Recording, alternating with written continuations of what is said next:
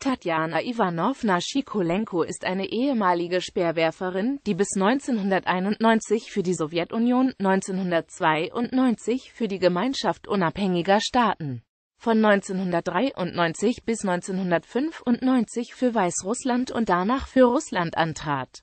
Als Fünfte der Junioren-Europameisterschaften 1985 und Vierte der Junioren-Weltmeisterschaften 1986 zeigte sie schon früh, dass sie zumindest ähnlich talentiert wie ihre vier Jahre ältere Schwester Natalja Schikalenka war.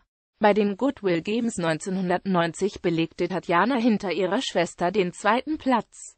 1991 gewann sie bei der Universiade. Bei den Weltmeisterschaften 1993 in Stuttgart traten beide Schikolenko-Schwestern für Weißrussland an.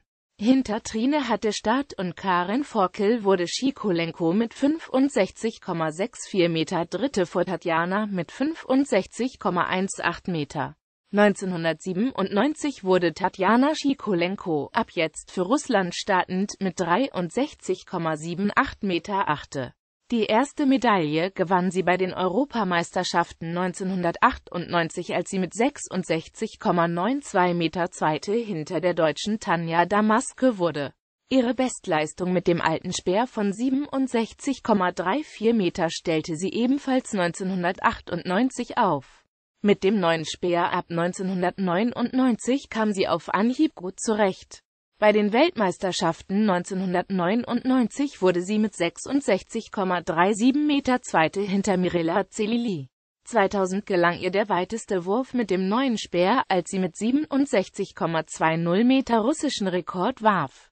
Sie wurde aber bei den Olympischen Spielen 2000 in Sydney nur siebte mit 62,91 Meter.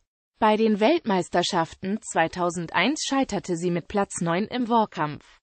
Mit 60,91 Meter verpasste sie den Endkampf der besten 8 um 10 Zentimeter. Im Jahr darauf wurde Tatjana Schikolenko mit 63,24 Meter Vierte der Europameisterschaften 2002. Bei den Weltmeisterschaften 2003 gelang es ihr mit 63,28 Meter zum zweiten Mal nach 1999 Silber zu gewinnen, erneut hinter Mirela Magnani Celili. Bei einer Körpergröße von 1,77 Meter betrug ihr Wettkampfgewicht 74 Kilogramm. Von 1997 bis 2001 und 2003 gewann sie die russische Meisterschaft im Speerwurf.